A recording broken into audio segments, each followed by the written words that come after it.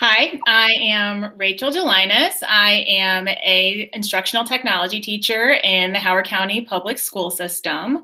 I um, started originally as a classroom teacher. I've taught third, fourth, and fifth grade, and now I'm teaching um, technology, which is my passion, and I love um, doing it. I am a, a Wixie certified educator as well as a Wixie um, innovator educator, and I absolutely love using Wixie with my students.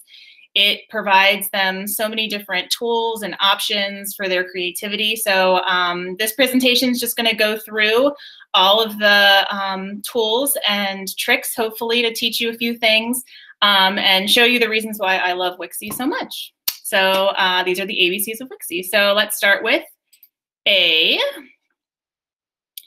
So the nice thing is you can assign students specific assignments um, depending on the class, or you can do an individual um, assignment for students, which is really nice. So if you're making a template, you can differentiate it for the different needs, whether you need enrichment or you need to modify it for students it's really nice and um, being able to assign it to specific students is a really nice um, part of Wixie.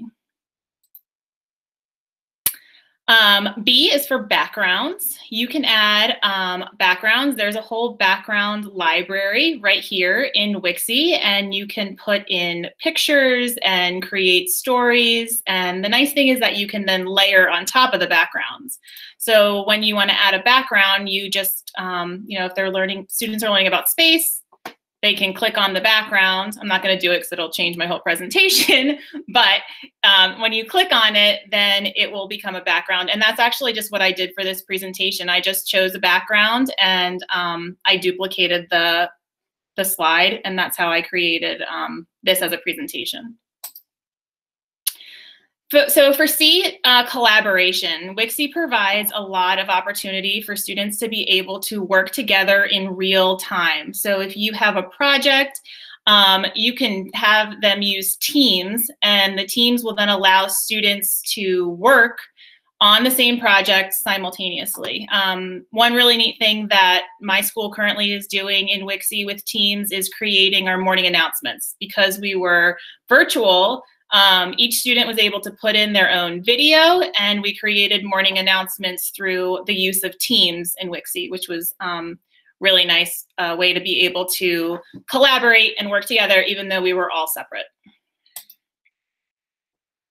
So D is for duplicate. Um, a lot of times we make things and you want it to look kind of similar. So um, you can duplicate pages, you can duplicate stickers, and that's what I did here. So if you click on um, an image, you can go to edit, and then you can just duplicate it, and then you can create a whole um, image. It just makes it easier um, than going through all the steps within Wixie, um, which is really nice. And then you can also duplicate full pages, which is, like I said, how I made this whole presentation. Um, so I was able to uh, create every single page before I started to go in and edit them as individuals. So it gave the presentation some continuity and I didn't have to recreate the wheel every single time. So for E, I said everyone. everyone can do Wixie. My kindergartners are very um, tech savvy when it comes to Wixie. They're, they sometimes show me, oh, Mr. Linus, did you know that you can, you know, they're, they're very savvy in in um, Wixie, which is really nice because they've been using it all year and they enjoy it so much that they want to use it on their own, which is nice. And then they can play and explore. Um, all the way through my fifth graders, we use them for different projects. We just created digital citizenship posters in there. Um, so it doesn't matter your age, your skill level, anyone can use Wixie. So there is a fill tool that is really nice in Wixie. And um, Wixie provides lots of color choices for you, as well as different gradients um, and different patterns. So right now I'm, I'm clicked on the, um, the black, but let me see. If I click on pink and then click, you get lots of different um, choices of gradients and backgrounds and uh, the students love doing the puzzle and, and the rainbow is very popular as well. Um, but they love filling in the background. So F is for the fill-in tool. So G is for gluing um, images, and this is something that I use very often in Wixie because you can layer your stickers and then modify them to the way that you want them to look.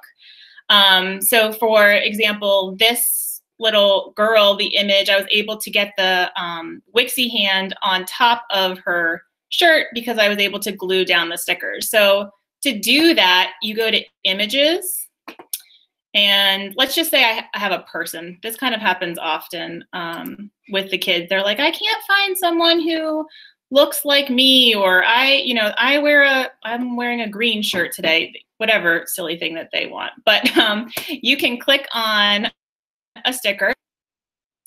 Um, so let's say, so let's say this is me playing basketball, but I don't really have blonde hair.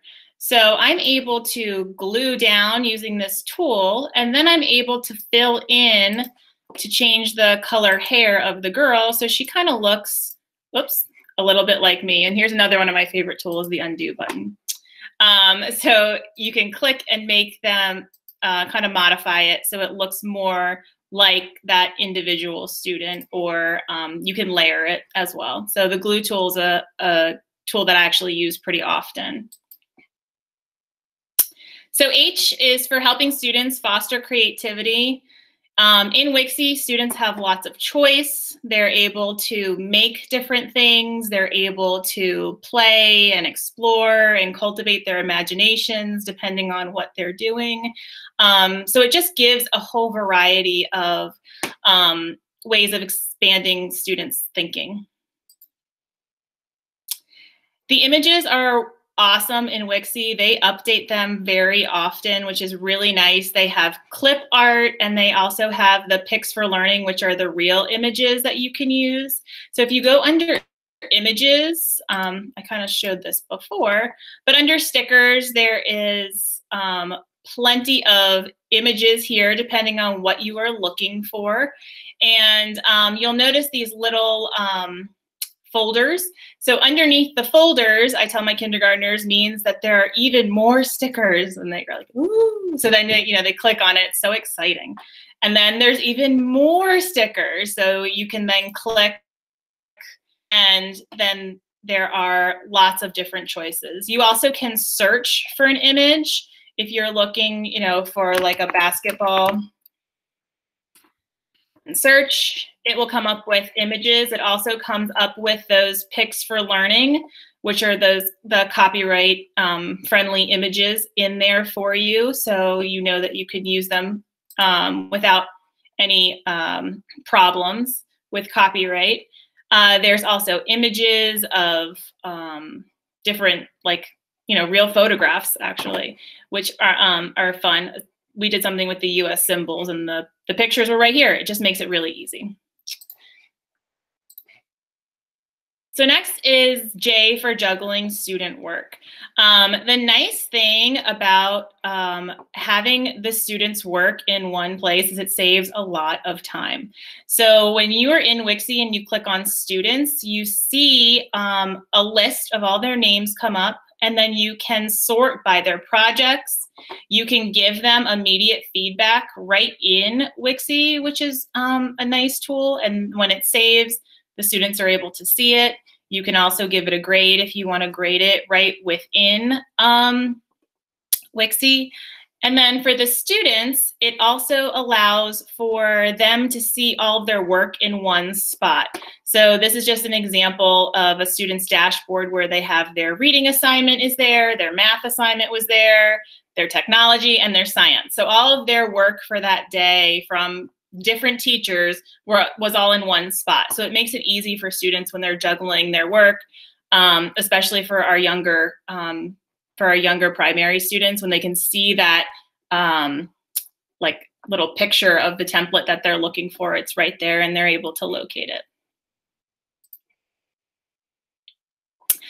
So this is a new tool that I've used a lot this year, which has been so beneficial for me, is that um, when students are done, they can mark their assignments as complete. So for K, um, they're keeping tracks of students and marking their work as complete. This tells me as the teacher that they have finished their assignment and I can go in and I can grade it. Because sometimes students will open something, especially when we were virtual, they'd open it, they'd work, look at it, and then they do something else and maybe they come back. But this gives me a clear view that they are done, and I can now go in and assess what they've done and give them that um, immediate feedback. Um, it also will show you in Wixie if the if the project's in progress. So if they've opened the project, however they have not done anything, you can see that as well under their name, which is really nice. That's yeah, key thing. That's very nice tool. So for L, locking, um, so the locking tool is you can lock stickers, um, which is nice because then when the kids click on it, they can't move it around. So you just saw with my text, I don't have it locked, so I can move it all around. And kindergartners and first graders love to move everything around, but when you've worked on a template for a long time and you want things to be in a certain spot, it's nice to be able to lock those stickers because then they can't move them no matter what they do. However, they can still click on the microphone. Super. And it will read it to them, which is a really um, a nice feature that Wixie has, that especially for those primary students. So M is month by month templates. Wixie has many templates um, under the, the templates tab that you have on the left-hand side. And there is a month by month template. This is my go-to starting point for the um, for each month when I'm trying to think of things that kind of correspond with what the students are doing and the month and any special days. And so um, under each month, they have templates and they're constantly being updated. I just got an email that there's now a Cinco de Mayo one for May and a, some new Mother's Day templates. So it's nice that it's, um, you know, kind of organized in that way. So you, it's a jumping point.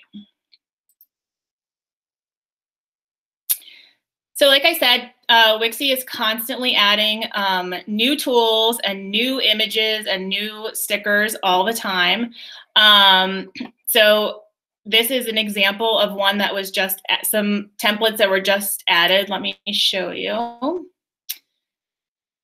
So I thought this template was kind of cool. I don't teach music, however, um, if any of you do, uh, this is, they're adding a lot of um, templates for music teachers, for art teachers in the template area. So these are um, already made templates. They come with the directions and they are um, really great um, because they're just constantly updating with new stuff and there's new tools. Um, another thing that Wixie added this year that I love are the choice boards. Um, so this is a link um, to the Wixie website, but I just wanted to show you what's already created. These are templates for comprehension, STEM, ELL, and it's nice because again, it gives the students choice. So they're able to choose depending on what topic you're doing, how they want to show um, you know their thinking their thoughts if they're they want to write they can write. If they want to draw they can draw. If they want to make videos it's all um, there. And these templates are fabulous because they're already made for you. So and they give student choice. Um, so O, again, it's open uh, for student creativity. Students are able to show what they know in so many different ways and what makes them comfortable. Um, they have the microphone, they can record their voice. Uh, they have the play button where they could make um, a slideshow. They can record a video of themselves. They can type, they can paint. And um, again, I put in a student choice board. So all of these tools are just different ways that students can show their thinking and show their knowledge. And it's nice because it's not just one way and every kid is different so this allows for that differentiation and for students to really show their best uh, you know, what, whatever they're good at, they can show it in that way. Or they can show it in multiple ways too, which is nice. Um, so our, there are lots of paint tools in here, which um, all have different um, aspects. So there's the regular paint brush, and then they have different strokes. I like using this one like for my hair because my hair is not, you know, nice and straight like the pencil. Um, the fill-in tool I kind of already talked about. Um, there is a spray can tool that if you click over here on the side, there is um, lots of different options for students to be able to um, spray. Like we, I did a, um, a lesson on germs and the kids had to, you know, the kindergartners had to clean all the germs off their hands and cover it up with the spray can. So it's just uh, fun and something different. Um, and there, there's also money and animals. We did a, a spring project and the kids loved filling it with ants and snakes using that that tool anything to gross me out so um, so q quick response from the wixie support team. These people are amazing. You send an email and within minutes somebody has replied to you helping. How can i help? What can i add? And um, i really appreciate the fact that they are so responsive so quickly. So thank you to all of you. Um, R is for rubrics. There are already made rubrics in Wixie. Um, so thank you again to those people who made those. It's a nice way to attach them to the student work that you have already assigned. You can also make your own rubrics in there. Um, so that's very nice. S is for showcase. This is a great way to showcase students' work. You can easily pull all of the um, projects into one spot and it creates a URL and, the, and you can run it as a slideshow. So it goes through all of the students' work. So it's nice to be able to have that. And um, like last year, and I'm going to do it again this year, I just planned it out um, for my fifth graders for graduation. They each made their own individual slide. And then um, we were able to send the families the URL at the end of the um, presentation so then they can have a, a copy themselves to be able to see it. Again, T is for templates. There are so many different options here under each of these folders, whether you are art, music, science, STEM.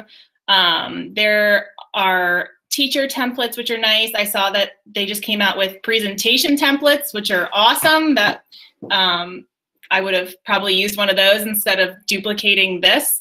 So uh, thank you for that great idea. Um, there are organizers, graphic organizers, whether they are um, for primary or there's lots of intermediate organizers in there.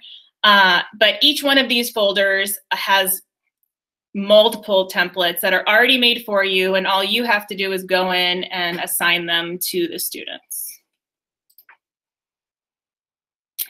U is for uploading an imager file. So under the images, you can click uh, my files and you are able to upload images of your own. Uh, we did this this week when we were learning about cicadas. Students um, had to find images in Britannica Image Quest. They downloaded them and then they were able to easily import their pictures and cite them right in Wixie, um, which went really well. I was surprised how well the kids did. Um, so student voice, uh, there is a video tool in here that you can click and they can create videos. Um, I asked my own kids because I have a second grader and a kindergartner just what they thought about Wixie. And um, so this is how you, what it would look like. So this video, you'll notice looks a little bit different because I locked the video. So it then gives the, the option to play it. So if you make a video of yourself, like instructionally for students and embed it into the, um, embed it into your presentation, that if you lock it, they can just click on it right here. Versus this video looks a little bit different where I have to click on it and then play it and then here you can kind of manipulate it this one versus this one you can't. I like Wixie because you can show your teachers what you know with with stickers, a paint the paint tool, or a video like this. So that was his opinion, and then this is my kindergartner's opinion. I like Wixie because you can draw, paint, and make pictures. And take pictures of yourself. Which he does pretty often in Wixie. So he loves taking pictures of himself and then adding mustaches and crazy hair. Because all he has to do is he goes to the images, he takes a picture, he glues it down, and then he can modify the way that he looks. So um, and that's right here. All you do is click, record, and add. So it's very, very easy um, to do. Um, Wixie has the Wixie Wizards. They're on Facebook, Instagram, and Twitter. So uh, W is for those wizards where they're they give out tips. There's templates. There's tricks, um, and it's nice because you know, I'll be scrolling through Instagram and then just see something and I'm like, oh, that's a great idea. I can, you know, use it tomorrow um, in my lesson. So it, it's nice to have those just quick snapshots when you're um, kind of don't even know you're looking for it. So X, I did the extra color options. So um, underneath there is a, underneath the any of the paint tools, there is a little arrow. And when you click on that, it opens a whole color wheel for you. So my art teachers probably know the, the number codes for some of these um, down here, but you can type in exactly the number code and it will identify the exact color that you're looking for. Uh, you also can match colors, which is nice. If you click here on the, I guess like a dropper tool, um, it will match the color. You can see over here it's changing as I'm going through. And then you're able to modify uh, your, your work depending on the, the color. So you can also embed YouTube videos right in Wixie. So if you've created an assignment for students, uh, especially those if they're at home or doing it independently, uh, the nice thing about this is the videos are um, ad free. There's no ads like before the video. The kids can't click around anywhere else. You're not sending them to YouTube where it's not safe. And they also have um, the closed caption. Sorry, my screen is um, a little bit low here. So uh, they also provide closed caption. So all the students have to do is click on it and the video automatically starts to play Wixie provides for them right there within Wixie. So to add a to add the YouTube video, you go to video and then it, the link is right here and you just paste the URL link that you want and it embeds it right into YouTube for the students to be able to watch in here, which makes me feel better that I'm not sending them out to um, YouTube, an unsafe website for them. And Z, uh, I said it takes the Z's out of worksheets, the boring worksheets. The kids can be creative and do different things. So those are the ABCs of Wixie. So thank you so much for coming. Great job, Rachel. I'm going to stop recording and then let everybody ask some questions. So here we go.